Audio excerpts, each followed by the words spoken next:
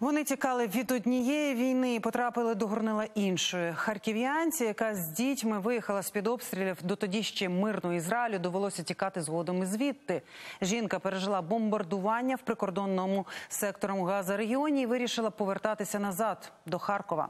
Як воно бути двічі біженкою в матеріалі Світлани Шекери? Коли почалася велика війна, Тетяна із трьома дітьми півтора тижні жила у підвалі харківського будинку. Діти почали хворіти, і жінка наважилася виїжджати. Поїхала до батьків у Сумську область, але там виявилося, що було ще небезпечніше. І вже після того вирішила їхати до родичів в Ізраїль. А потім, коли ми приїхали, коли ми розпакували чемодани і розклали свої речі, почалася у них війна через п'ять днів. Тоді у мене істерика і сльози. Я сказала чоловіку, на для чого ти мене сюди е, привіз, коли і знову я бігаю. Там дуже добрі люди, вони дуже жаліли. Заспокоювали, що ну все добре, добре, але обстріли у нас теж є, і бахкає воно завжди, так як ми були ж поїхали до Ашкелону. Це ж недалеко від газу.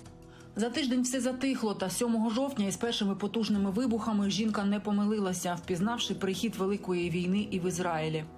Тоді вже в мене почалися вже і тремтіння і рук, і знову ці відчуття, е, як в нас воно почалося. І ну тому воно трішки за- затихло. Ми встигли. е, Приготувати обід, я встигла. А потім, як почалася сирена, і я ми знову в під'ї- під'їзді, і дуже дуже такий вз- взрив був. Е, Я думала, попало в наш дім. Виглянули туди, пожар, але воно в е, стоянку попало. Безкінечні вибухи й сирени. Жінка з дітьми декілька днів прожили в бомбосховищі. Та найстрашніше було, коли до міста прорвалися бойовики. Прийшла е, міліція і міштара, да, у них називається.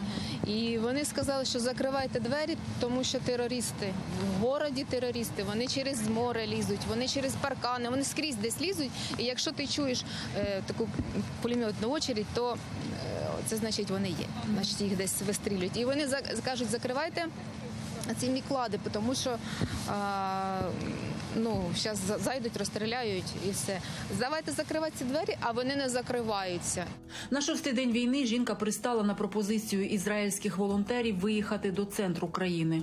Водій, я ж не євріту я не знаю. Він мені грошей дав, він мене відвіз до людей. Отут каже, будеш. Там люди мені теж нагодували, е, іграшок дітям надавали, відвезли на другу квартиру. І це все безкоштовно, ніхто нічого не треба. Жили ми там також, мабуть, днів п'ять в центрі е, Ізраїля. Е, Безкоштовно. Люди, люди просто виїхали е, десь ну, в село, так сказати, і залишили квартиру для біженців. Та дуже швидко жінка вирішила повертатися до України. Може, не можна так казати. Кажу, якщо мені, якщо мене вб'ють, то хоч на рідній землі. І приїхала, і думки не було по дорозі осісти десь в Польщі чи в іншій європейській країні. Тепер каже, радіє кожному дереву і кожному синьо-жовтому стягу, бо вдома. Які дома відчуття? Та прекрасні вдома. Спочатку було незвично, так як вже ж майже два роки пройшло, але ж потім.